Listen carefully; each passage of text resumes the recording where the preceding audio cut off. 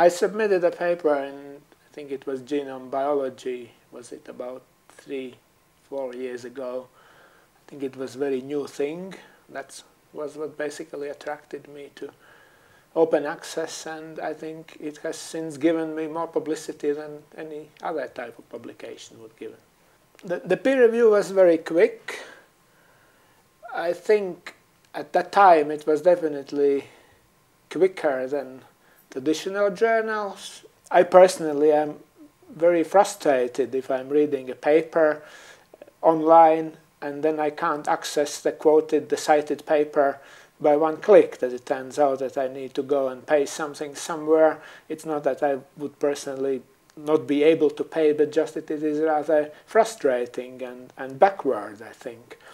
I think that in general open access publishing is a future. It makes so much easier to read the papers and be in touch and follow, follow the references that I even don't understand what are the arguments against it. We have to understand that publishing is an entrepreneurship and somebody has to organize these journals.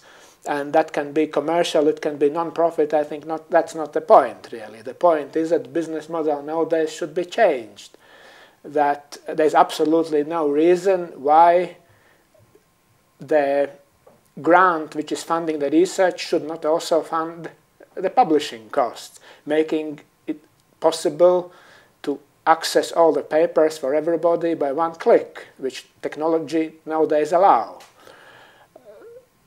I sometimes hear that it would hurt the professional societies, but I think this is more technical than uh, strategic, because it would effectively mean that their members will not have to pay for something else. So I could pay the subscription fees to these um, uh, professional societies in some other ways.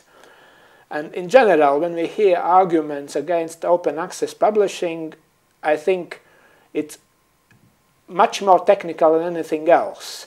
And I think in, instead of trying to find these reasons why we can't do it, uh, which are clearly very technical, and trying to delay the progress should actually instead I think we should think about how to speed up the progress and how to change these business models to make every journal uh, open access as soon as possible.